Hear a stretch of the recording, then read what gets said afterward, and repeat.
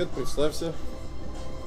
Как на допросе прямо. Меня зовут Ян Сташкевич, я из Минска.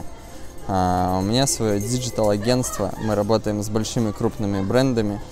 А, у меня... а, Я организовываю крупнейшие конференции по маркетингу в Беларуси. А, вот, и блогер я немножко. Вот. Относишь себя к э, волне, новой волне маркетологов, которые типа такие больше шоумены? А, я бы не, ска- не сказал, что там, ну, типа... э, на самом деле, я понимаю, что я- я больше отношусь, наверное, к старой школе. Я в маркетинге уже, типа, там, в SMM почти 6 лет. Вернее, 6 лет уже. Сколько тебе лет? Мне 25. А, вот. Но, но при этом я, как, как ты сказал, типа, маркетологи, там, шоумены, блогеры, ну, наверное, но просто при этом, если, ты говоришь, возьмем каких-то известных блогеров-маркетологов, да, на которые все, все смотрят, и типа, почему они же несут какую-то ну, ерунду, это так не работает, да, ну, условно, из-за того, что они работают через другие каналы, ну, условно, им можно ме- меньше знать, меньше разбираться в маркетинге, но больше зарабатывать за счет того, что у них большая аудитория. Что такое Вот. маркетинг, Ян? Маркетинг это эм, наука, э, даже, ну, условно, маркетинг это комплекс действий, который направлен на то, чтобы делать э, компанию богаче. То есть это на удержание клиентов, на привлечение клиентов, на увеличение среднего чека, то есть комплекс действий, который сделан для того, чтобы компания больше зарабатывала. Можешь рассказать про вот эту историю? А. Я, я ржал просто, я не знаю.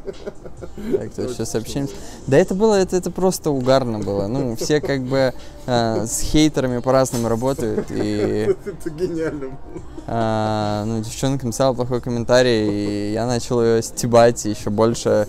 Потом это... Что пере- она написала? Ты, ты не мужик, Ну, типа, не, потому что я максимально неинтересный. И что она старается таких, как я, избегать. Вот. Эм, ну, как бы, я не знаю, это, это надо было смотреть, я не знаю, как это видеть. Ну, просто я э, жестил, немножко ее стебал, там, признавался ей в чувствах, э, там, на телек э, приходил, меня приглашали, я поздравлял ее с 8 марта. Ну, то есть это было, это, это было ржач просто. Ну, то есть это никак по-другому не назвать, просто это был прикол.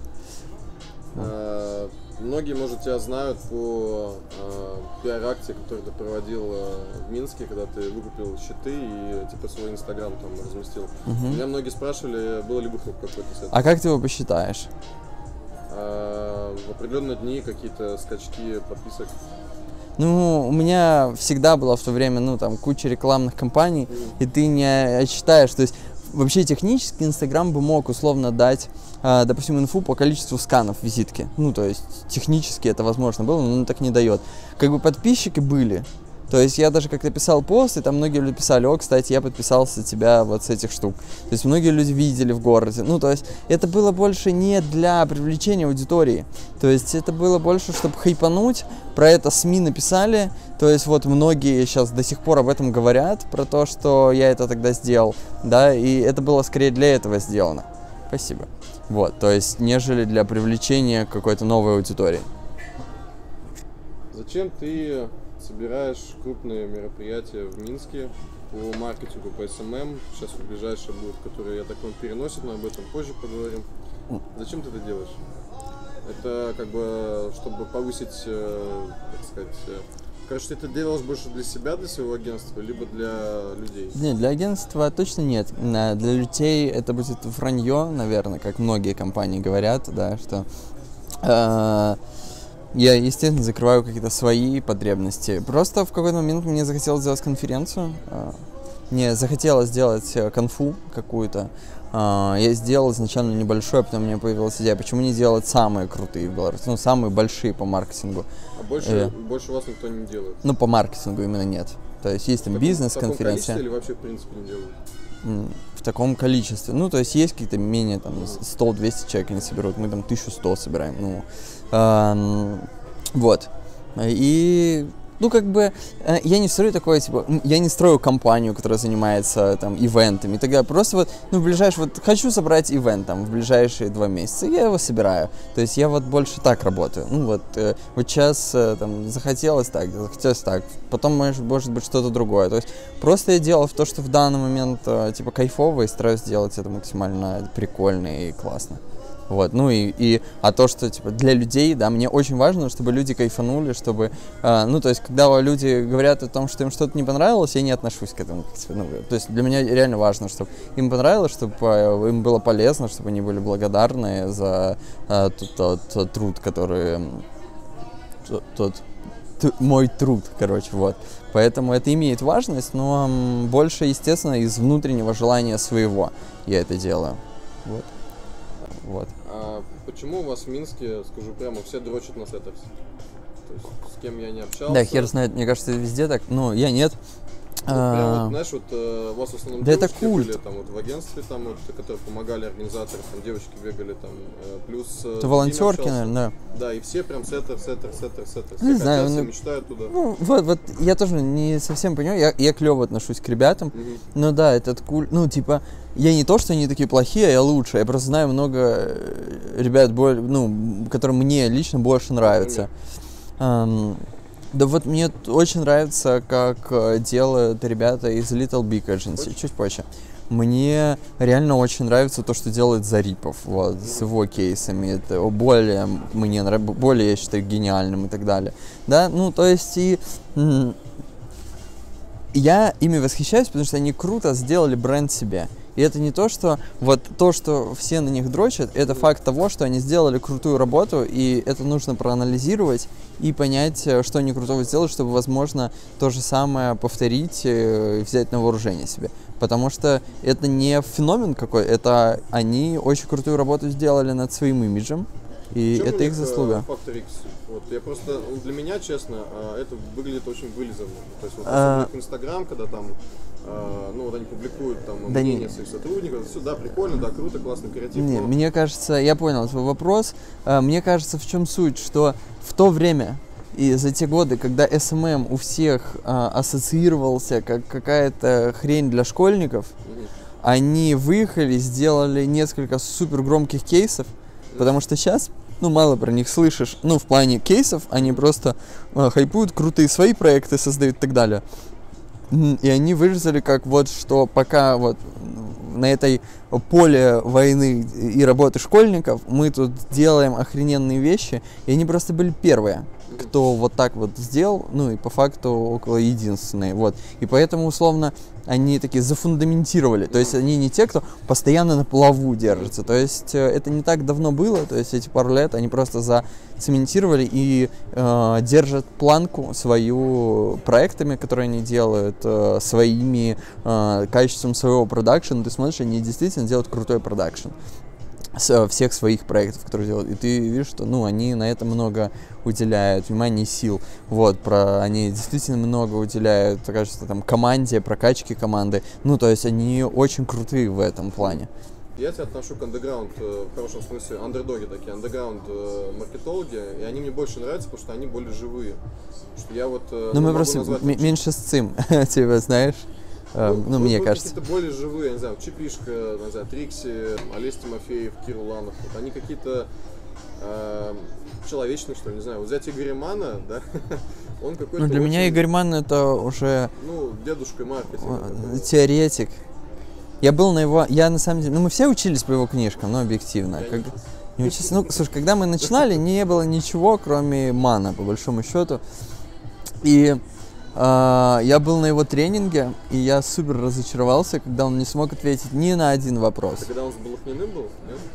Нет, был, или Балахнин. А кто такой? Илья? Не, не. Вот Балахнин вообще крутой, конечно. Балахнин про- просто практик. Мгм. А вот Мана, я считаю, за теоретика, крутого теоретика, у него большая теоретическая база, но он не ответил ни на один вопрос. То есть он говорит, сделайте вот это для своих компаний. Э, ну, не, вообще по маркетингу, он там говорил про позиционирование, по-моему, да, что то про какой-то слоган, что-то такое. И он, да, так, давайте, называйте мне, ну, типа, что вы придумали? И он всех засирал. И мы все говорили, приведи пример хорошего. Ну, типа, давай вот, ну, на месте. Он этого не. Ну, вот, и весь тренинг там целый день шел. И я такой, в смысле, он на один вопрос, на один пример, то есть чисто теория. Вот, и потом я еще несколько раз его слушал, и везде просто хорошая теория, которая по факту звучит классно, но к практике не имеет отношения немножечко. Ну, то есть такие крутые идеи, такие, знаешь, философские, что круто бы это сделать. И они ре- реально классные, но просто если бы, мне кажется, он лично их по 10 раз попрактиковал, подокручивал, они бы были круче намного, они были более работоспособны. Сейчас, конечно, возможно, я такой наговариваю, потому что я, реально, вдруг он, типа, это тестирует все это, я просто, типа, не изучил, не знаю, но я говорю по тому, как мне это показалось, и я рад, если я ошибаюсь. Что из последнего тебя зацепило в плане креатива, там, в рекламных каких-то активностях? Блин, наверное, вот я не все, вот такое, чтобы меня сильно прям зацепило. Мне очень понравилось, как у вас в России МТС сделал тариф хайп, и как они, ну вот они на эту на аудиторию молодежь, то есть они взяли Big Russian Boss, и вот все, что молодежи нужно, типа там трафик, э, и все это запаковали в такой еще с гличом эффект. Ну, короче, как по мне, это стопроцентное попадание в целевуху. Мне вот даже интересно, что за агентство это делало. Это было шедеврально. Вот это прям я, я кайфовал и от ролика, и от того, как это сделано. И это прям было классно. А, Пом... Ну, это тоже какие-то старые, не знаю, кейсы. Как Adidas делала а, ролики для своей коллекции Adidas Original под Фрэнка Синатру. С... Видел, наверное, да? Да. По треке Фрэнка Синатру, вот эти ролики. Это, как по мне, это просто Давай вышка. зацепим. Да. Я смотрел твое интервью, а, где тебя спрашивали про то, как ты выстроил работу в агентстве. Там ты забавно так отвечал, что типа вот у тебя есть партнер, там, напомни, как зовут, Владимир? Влад, Влад. Влад, да. И вот он отвечает за всю, типа там, э, Да по факту агентство его. Ну, я учредитель просто. какая у тебя роль в агентстве? Потому что у меня- Никакой. Не, ну роль все равно есть какая-то, не знаю, роль артиста, не знаю, продюсера. Кто ты в агентстве? Ну, может, человек, который чуть-чуть э, помогает толкать имидж агентства, ну, своей узнаваемости. Но Ты можешь дать совет вот ребятам, которые хотят открыть агентство?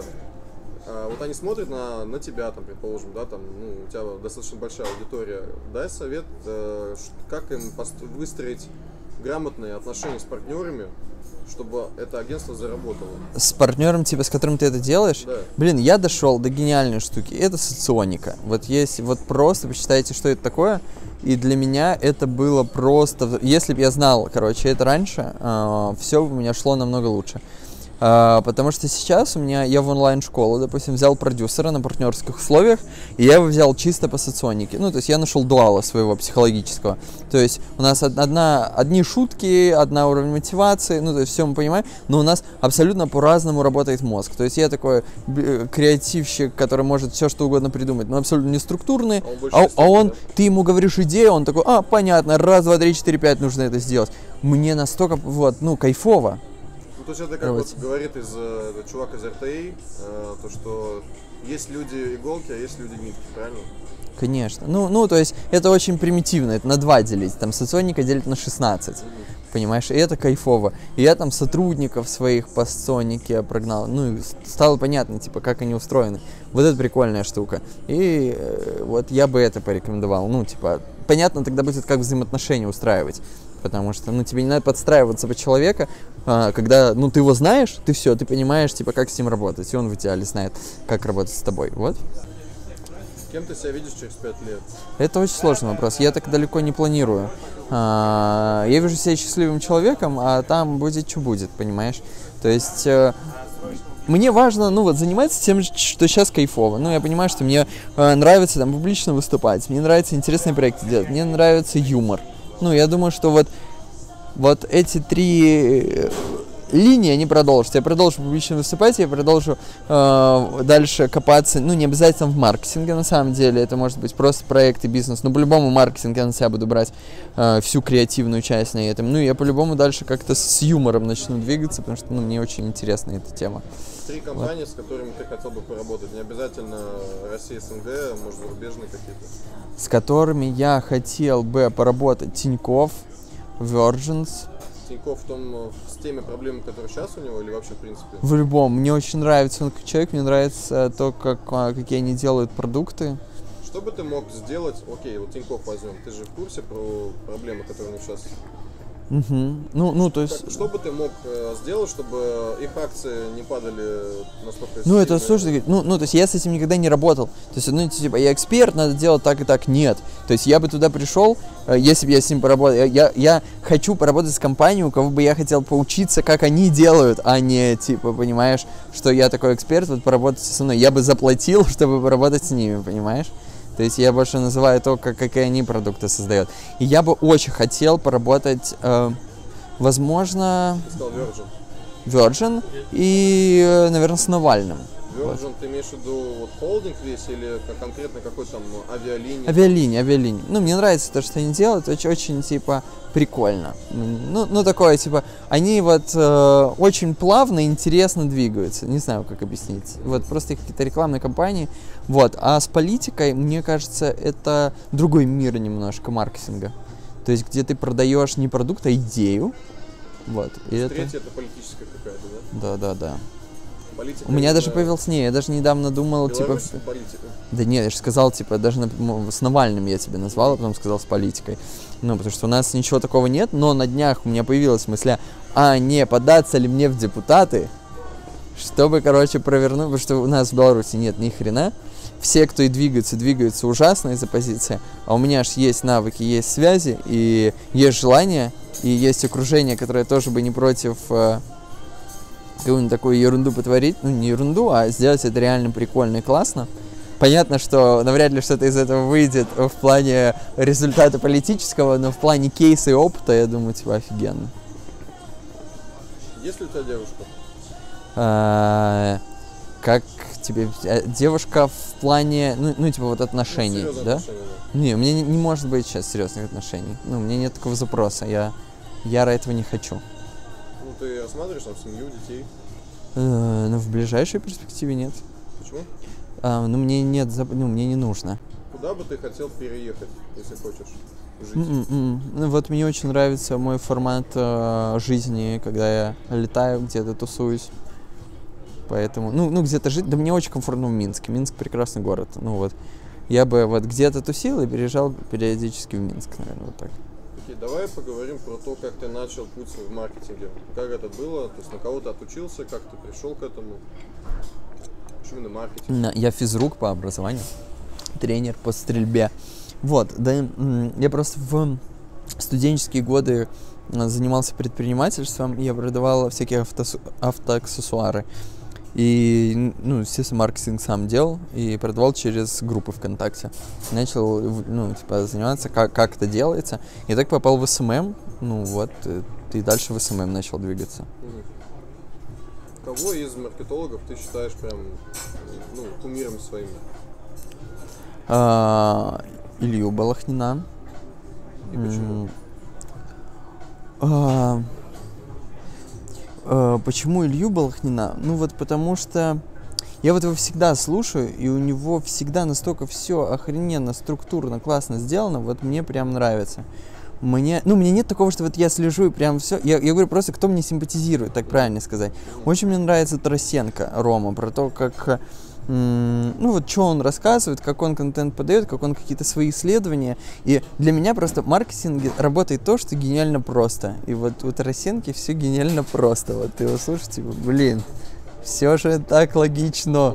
Ну, наверное, тяжело сказать, потому что на самом деле я уже понемножку отхожу так от маркетинга. То есть я больше куда-то в креатив, проекты, в пиар, вот что-то мне... То есть я даже не называю, типа, там, работой, там, типа, клиенты, там, проекты, вот, делаю. Там, конференция — это мой проект, который я делаю, да, и, условно, я там э, изучаю, как его делать. То есть у меня такие просто жизненные...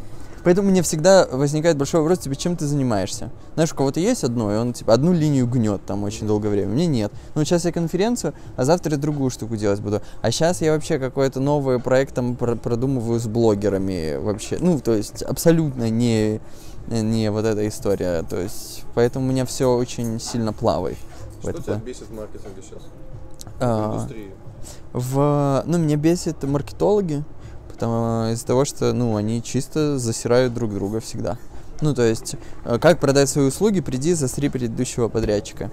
И, как мне кажется, И очень многие маркетологи там не публикуют свои кейсы, например. Не вот клевый результат, а он боится прийти там на мастер-классе выступить, потому что его половина засрет. Потому что почему он выступает? Ну, вот знаешь, вот это вот не поддерживание своих ребят, а наоборот, э, вот такая вот херня, и из-за этого рынок не развивается. Ну, это мое исключительное ощущение. Нужно ли маркетологу качать свой личный бренд? Прям Да как, как, запрос. да как хочет, ну так нужно, хочет, пускай делает. Это, это э, что такое бренд? Бренд это набор ассоциаций вокруг типа там названия или там логотипа и так далее. То же самое. Какие ассоциации с Яном? А, ну, смотри, если тебе скажут мои подписчики, они скажут одно, да, что ассоциации со мной это какие-нибудь очумелые ручки, девки, э, чик-чирик, да, и так далее, да. Если это ты спросишь каких-нибудь предпринимателей в Минске, они скажут, ну, это конференции, СММ и так далее. Ну, то есть совсем, совсем другое. То есть бренд, чем больше ассоциаций, тем, ну, тем круче. Если мы говорим про известность, а известность не всегда, есть люди известные, которые, я считаю, не особо имеют личный бренд, вернее, или очень плохой личный бренд, допустим, ну как вот бренд такое понятное слово, слово. Ну, вот набор ассоциаций. Если мы возьмем Мана, опять же, он очень известный. Ну вот а что мы про него знаем, кроме маркетинга? Да, ну он крутой маркетолог, наверное, самый известный Номер маркетолог. один, он уже эту тему продвинул. И, и все. Ну, вот это бренд или не бренд. Ну, короче, я не совсем, короче, эксперт, блин, чтобы говорить. Остановиться, естественно, когда ты будешь более популярным, более тем больше знать, ты будешь дороже услуги продавать, это определенно. Но просто набор подписчиков не даст тебе этого. То есть это полноценная работа, которую ты должен делать. И вопрос, что вполне иногда лучше уделять это время не там продвижению там, Инстаграма своего, а проекту дополнительному. И, возможно, у тебя лучше будет получаться и больше будешь зарабатывать. Поэтому такая не панацея. Вот, ну. Я этим занимаюсь, мне кайфово. Как ты оцениваешь маркетинг на политической арене в Беларуси? На политиче... ну, политической арене. Ну, то есть, как они себя позиционируют на политической арене? Как к ним относятся другие страны? Вот маркетинг страны вообще. Есть ли он? Да не, мне кажется, вот, вот у нее? со, с такой, ну, ну, понимаешь, я вот в странах многих был, и они не знают, что есть Беларусь. Вот, мне кажется, на этом можно закончить. Ну, когда люди даже не в курсе существования страны, о чем может быть еще речь. Вот, Ну, если бы тебя поставили, ты сказал, что тебе было бы интересно поработать с политикой. да. Если бы так получилось, что да, тебя сделали бы там, не знаю, там по развитию там молодежи, там молодежным движением. Вот мне было бы это интересно, Что прям бы ты первые там первые три вещи, которые бы ты сделал в Беларуси? Я бы э, сделал так, чтобы... Ну, мои, мои стремления, если не, типа, курировать типа, молодежные движения. У нас есть БРСМ, это такие говнари, которые хренью какой-то занимаются. На А как расшифровываться? белорусский Б, Б- Б- республиканский союз молодежи, наверное, что-то Мгм. типа такого. А, ну, как и в любом маркетинге, изучил бы ца, кого я бы туда хотел привлечь. Потому что сейчас там всякие чуваки такие с деревень, типа, ну, знаешь, такое заставляют. То есть нормальных э, ребят толковых там нет. То есть я бы изначально понял, с кем бы я хотел. Ну, то есть, чтобы это был крутым брендом, да, если это там БРСМ, опять же, мне подали. Я понял, что крутым брендом делает э, сообщество людей, собственно, люди, которые там есть. А, изучил бы их более, изучил бы, что им не хватает, понял, чтобы я по- понял бы, какими ресурсами мне дает э, государство, условно, и понял, как я этими ресурсами могу им помочь. И, э, и это бы делал. Вот. Ну, то есть я уверен, что можно за блядь, полгода поменять у всех белорусов, у молодежи к БРСМу отношение типа зашквара. Ну, то есть, если ты в- в- там в кепке БРСМа, это типа очень грустно. Вот. Ну, а поменять так, что это типа честь, это можно, мне кажется. Это, бы, это вот это интересная задача. Но вопрос, что туда хрен пустят. Вот. Зачем ты выступаешь, по городам ездишь? Какая цель? Я зарабатываю с этого, ну и плюс мне интересно это, естественно. Ну, то есть такая публичность, ну, мне кайфово. Я на сцене другой человек, вот э, мне все об этом говорят. Ну, более живой, более интересно даже. Ну, это мое прям, мне, мне это хорошо получается, и я получаю это удовольствие. Были ли у тебя какие-то там какие-то жесткий хейт в твою сторону, там, либо к твоим результатам работы, там, от клиентов, от людей? Наверное, не было, потому что я такого не вспомню. А нет, было один раз. То есть я реально на проект забил, и результат не выполнил, я, ну, просто вернул все деньги, то есть, ну, себе в минус, что там было потрачено. Ну, наоборот, чтобы этого хейт не... Ну, там ре- реально облажался, но и сделал так, чтобы клиент, ну, то есть клиент ничего не потратил, даже лидов получил там в свое время нормально. Ну, просто не в том абсолютно оговоренном э, э, объеме. Но такого не было, чтобы типа был там хейт. Какие сейчас тренды в маркетинге ты видишь там в ближайший год? Э, тренд, э, продолжение тренда олицетворения, ну, очеловечивания. Э, дальше тренд, ну, наверное, такая естественность, натуральность, это тоже будет продолжаться. Вот. И, наверное, тренд, когда компании очень много говорят о себе, о том, какие они классные. И вот я думаю, что в скором времени компании уже начинают э, говорить о людях, о пользователях. И на их языке. Это знаешь, вот как я могу выйти на конференцию и рассказывать 40 минут про свои результаты. Насколько им будет это интересно. Они пришли за пользой. Что они могут получить? Я о них говорю. А, вот. То же самое, я думаю, и придет вот в коммуникации маркетинга, что типа о вас говорить. Вот. Не знаю, насколько я понятно, это пока у меня не выкрестована, не выкрестована мысль, но вот. То есть ближе, ближе, ближе к пользователям, ближе к людям. Да, да, да. Какие топ-3 совета ты дашь э, людям, которые будут смотреть э, это интервью? Ну, как правило, это маркетологи, естественно. Топ-3 совета, наверное. Мне кажется, очень мало а, действительно больших, крупных, шумных, интересных проектов. Не потому, что не хватает мозгов, а потому что суд, ну, типа, делать. Суд брать на себя ответственность. А, И, ну вот, опять же, почему возвращаемся, почему Сеттер, типа, хайпанул, потому что они несколько раз не сосцали, сделалось очень круто. И как бы там не настолько прям все гениально. Ну, вернее, там гениально, потому что все достаточно просто. Вот. Э, Это первое, не ссать, наверное. Второе, перестаньте засирать друг друга. Потому что из этого вот выйдите из этого окружения тупого, а, которое вот вот отпишитесь от этих вот всех пабликов, типа зашкварная реклама там и так далее. Это все токсичная херня, которая просто а, только хуже делает. Вот. И эм, второе, третье, это научитесь быть, э, есть такой навык быть хорошим учеником, то есть уметь везде во всем видеть что-то интересное. Маркетинг это очень э, в большинстве своем креативная штука, и как работает креатив, точно так же, как там и юмор. Ты просто видишь во всем что-то интересное, запоминаешь и потом применяешь. И если хорошо прокачан этот навык, видеть что-то интересное, запоминать и применять, то можно быстро очень делать действительно крутые результаты. И поэтому, если вы с собой заметили, что вы пошли на конференцию и там ничего нового не сказали, значит вы долбоеб конченый, а не типа конференция вода. Потому что даже если там, блядь, спикер выйдут и промолчат все выступления, из этого можно интересные идеи для себя вынести. Вот. Топ-3 книги для маркетологов. Буду очень типичным, давай, э, изначально. Пускай это будет э, психология влияния. А, пускай это будет... а, пускай это будет... ам, не знаю, я почему считаю, вот клиенты на всю жизнь должен каждый для себя прочитать. Это такая, типа, очень добрая, хорошая книга про маркетинг. И, наверное, почитайте что-нибудь, чтобы креатив немного поразгонять. Это вот Фредерика Бигбидера э, «Окна в мир». Очень крутая книга. Это роман вообще. Вот. Он как раз рекламщиком был, и он, у него интересно мыслит мозг. Последний вопрос, который задам. А, Как ты можешь себя ассоциировать одним словом? Ян это Пиздец.